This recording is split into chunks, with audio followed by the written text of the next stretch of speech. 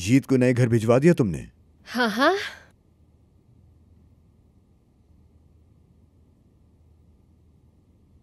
ईशान चलो मुँह ठीक भी करो यार। कल से मेरी तरफ़ देख भी नहीं रही हो। तुमने लाइट बंद की। जबकि तुम्हें पता भी है कि अंधेरा हो जाने के बाद घंटों तक मुझे चैन नहीं आता। लेकिन फिर भी तुमने ये किया।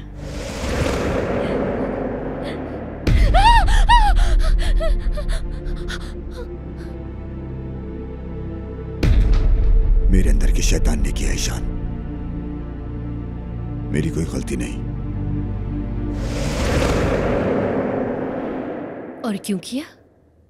शरारत के तौर पर।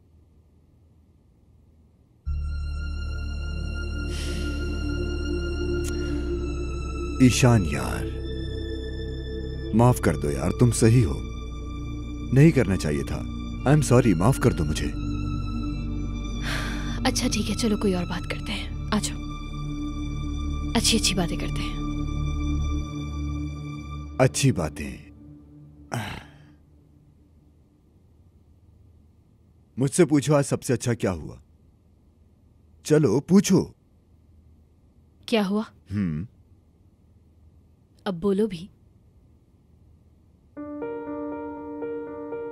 ताहिर की साली से मुलाकात हुई।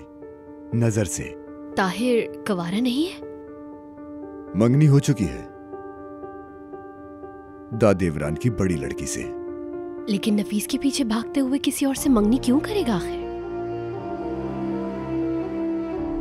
क्या लगता है? हाँ, टेंडर के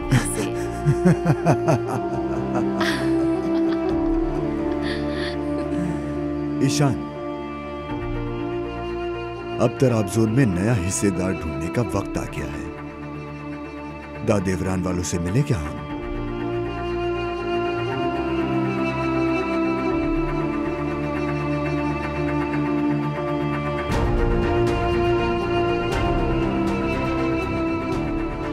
नज़र, दादेवरान।